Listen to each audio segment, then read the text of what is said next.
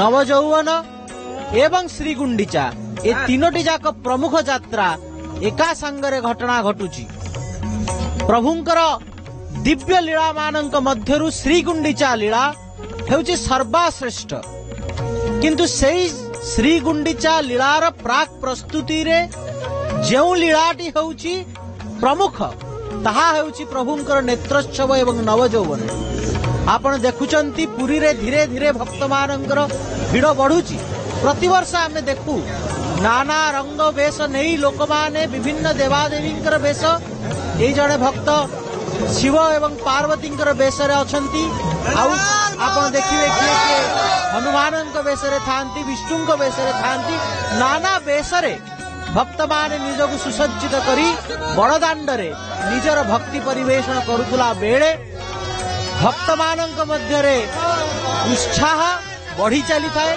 ପ୍ରଭୁ କେତେବେଳେ ଆସିବେ ନୀତି ନିର୍ଘଣ୍ଟ ହେଇଛି ପ୍ରଭୁଙ୍କର ପହଣ୍ଡି ଗୋଟେ ବେଳେ ଆରମ୍ଭ ହବ ତେବେ ବର୍ତ୍ତମାନ ଯାହା ସୂଚନା ମିଳୁଛି ପ୍ରଭୁଙ୍କର ଭିତରେ ନବଯୌବନ ଦର୍ଶନ ଚାଲିଛି। ସାଧାରଣ ଲୋକ ଏ ବର୍ଷ ନବଯୌବନ ଦର୍ଶନ କରିପାରୁନାହାନ୍ତି। ଏହି ଅବସରରେ ଗୋଟିଏ କଥା ମୁଁ କହି ରଖିବାକୁ ଚାହେଁ ଏହି ନବଯୌବନ ଏବଂ ନେତ୍ରୋତ୍ସବ ଏ ଦୁଇଟି ଉତ୍ସବ ଭିତରେ ପାର୍ଥକ୍ୟ କଣ?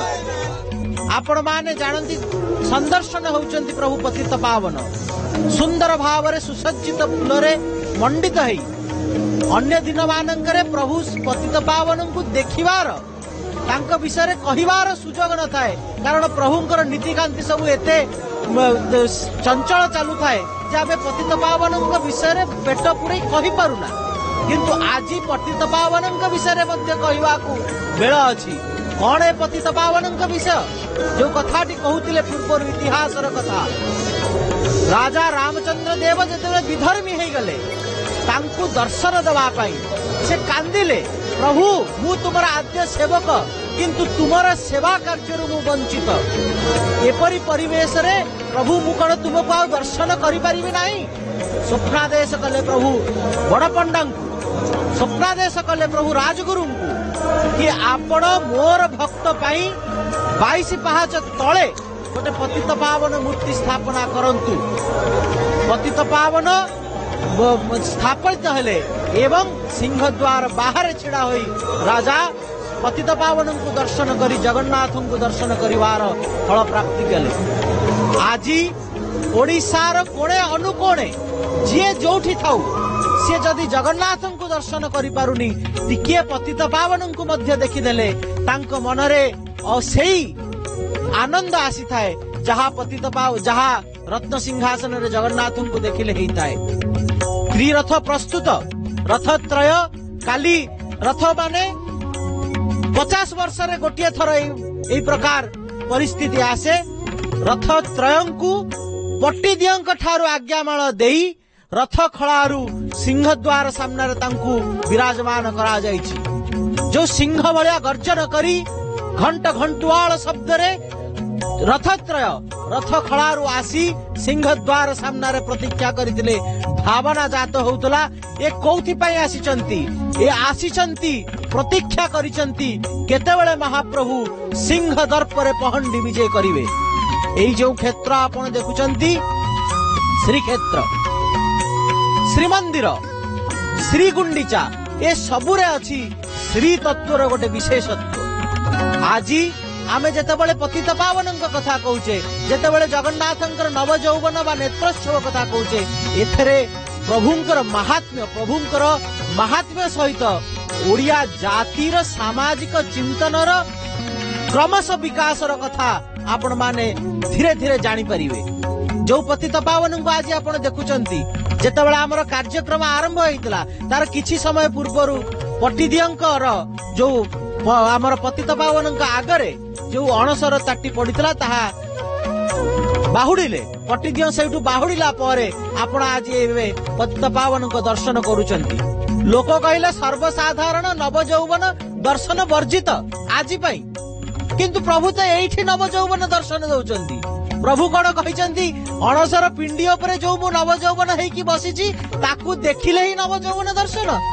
ଇଏ ମଧ୍ୟ ନବଯୌବନ ହେଇକି ଆପଣ ମାନଙ୍କୁ ଦର୍ଶନ ଦଉଛନ୍ତି। ତେଣୁ ହେ ଆତ୍ମନ୍ ଯଦି ଆପଣଙ୍କ ମନରେ କଷ୍ଟ ହଉଛି କି ପ୍ରଭୁ ନବ ଯୌବନ ଦର୍ଶନ ଦଉନାହାନ୍ତି ତାହେଲେ ଏଇ ଦେଖନ୍ତୁ ପ୍ରଭୁ ପତିତ ପାବନ ରୂପରେ ମଧ୍ୟ ନିଜର ନବ ଯୌବନ ଦର୍ଶନ ଦଉଛନ୍ତି। ତେବେ ନବ ଯୌବନ କଣ? ନେତ୍ରୋତ୍ସବ କଣ? ଅଣସର କଣ? ଏ ବିଷୟରେ କହିବାକୁ ଟିକେ ଆମକୁ ସବୁ ସୁଯୋଗ ମିଳିଥିବା ହେତୁ ସାମ୍ୟକ ଯେତିକି କହିହବ ସେତିକି କହିବି। ଅଣସର ତିନୋଟି ମୁଖ୍ୟ କାରଣ ଯୋଗୁଁ ହେଇଥାଏ। प्रथम तात्विक कारण है प्रभु, जो इतिहास बा पौराण कथा को जदि विश्वास करवा प्रभु आद्य रूप है नीलमाधव जहाँ पूजा, विश्वावसु आदि आदिवासी परिवार माने करुले प्रभु जेतेबेले छाड़ी प्रार्थना क्रमे आसी नीलाद्री रे श्रीमंदिर रे वास करने को लगिले, विश्वावसु अभिमान कला, कहला, प्रभु ତୁମେ କଣ ମୋର ଫଳ ମୂଳ ପଣା ଇତ୍ୟାଦିରେ ସନ୍ତୁଷ୍ଟ ନଥିଲ? ଛପନ ଭୋଗର ଲାଳସାରେ ତୁମେ ଭକ୍ତକୁ ଛାଡି ପଳେଇଲ। ପ୍ରଭୁ ଏଭଳି ଏକ ଲୀଳା କଲେ। ପନ୍ଦର ଦିନ କାଳ ସ୍ନାନ ପୂର୍ଣ୍ଣିମାରୁ ଗୁଣ୍ଡିଚା ପର୍ଯ୍ୟନ୍ତ ପ୍ରଭୁ ଯେଉଁ ଅଣସର ବିଧି ପାଳନ କରିବେ ସେ ସମୟରେ ଗୋଟେ ନିପଟ ଆଦିବାସୀ ଅଞ୍ଚଳରେ ରହୁଥିବା ଗୋଟେ ଗ୍ରାମାଞ୍ଚଳର ପରିବେଶ। ଅଣସର ପିଣ୍ଡି ଅଣସର ଗୃହରେ ପ୍ରସ୍ତୁତ ହେଇଥାଏ। ଚାଳ ଅଛି ଛପର ଅଛି ଫଳ ଅଛି ମୂଳ ଅଛି। ଆଉ କେବଳ ଆଦିବାସୀ ବଂଶଜ ସେବାୟତ ଦୈତାପତି ଏବଂ ପତି ମହାପାତ୍ର ଏତିକି ହିଁ ପ୍ରଭୁଙ୍କ ପାଖକୁ ଯାଇପାରିବେ ଆଉ କେହି ଯାଇପାରିବେ ନାହିଁ। ପ୍ରଭୁ କଣ ଖାଉଛନ୍ତି କନ୍ଦମୂଳ ମୂଳ ଫଳ ମୂଳ ଇତ୍ୟାଦି ଖାଉଛନ୍ତି ଏବଂ ଗୋଟିଏ ପଣା ପିଉଛନ୍ତି ସେ ପଣାଟିର ନାମ ହେଲା ଅଣସର ପଣା। ଏ ହେଲା ପୌରାଣିକ କାହାଣୀ। ପୌରାଣିକ ବିଶ୍ୱବସ୍ତୁ କି ପ୍ରଭୁ ନିଜର ଆଦ୍ୟ ଭକ୍ତ ତାଙ୍କୁ ସମ୍ମାନ ଜଣେଇ ଏପରି ଗୋଟେ ଲୀଳା କଲେ। ବୈଜ୍ଞାନିକ ଦୃଷ୍ଟିକୋଣରୁ ଦେଖିବା। ବୈଜ୍ଞାନିକ ଦୃଷ୍ଟିକୋଣ ହେଲା ପ୍ରଭୁ ହେଉଛନ୍ତି ଯେତେ କହିଲେ ବି ପ୍ରଭୁ ହେଉଛନ୍ତି ଦାରୁ ବିଗ୍ରହ। ଗୋଟେ ଦାରୁ ବିଗ୍ରହକୁ ସଂରକ୍ଷିତ କରିବା ଗୋଟେ ଦାରୁ ବିଗ୍ରହ ମଧ୍ୟରେ ବ୍ରହ୍ମ ତତ୍ତ୍ୱକୁ ଜୀବନ ଦେଇ ରଖିବା ତାର ଆବଶ୍ୟକତା ଅଛି ତାର ଗୋଟେ ମର୍ଯ୍ୟାଦା ଅଛି ତାର ଗୋଟେ ବୈଜ୍ଞାନିକ ପଦ୍ଧତି ଅଛି। ସେଇ ପଦ୍ଧତି ମାଧ୍ୟମରେ ଆମେ ସ୍ନାନ ପୂର୍ଣ୍ଣିମାରେ ଶୁଣିଥିଲେ ସନ୍ତୋଷ ସାର୍ କହୁଥିଲେ ଗୋଟିଏ ଚିତ୍ର କେତେ ବର୍ଷ ଯାଏ ରହିପାରିବ? ଗୋଟିଏ ଦାରୁ କେତେ ବର୍ଷ ଯାଏ ରହିପାରିବ? ଗୋଟେ ପ୍ରସ୍ତର ମୂର୍ତ୍ତି କେତେ ବର୍ଷ ରହିପାରିବ? ଗୋଟେ ଅଷ୍ଟଧାତୁ ମୂର୍ତ୍ତି କେତେ ବର୍ଷ ରହିପାରିବ? ଏ ସବୁର ତାତ୍ବିକ ଉଦ୍ଦେଶ୍ୟ ଅଛି। କାରଣ ସବୁ ଜିନିଷର ଗୋଟେ ଜୀବନ ଅଛି।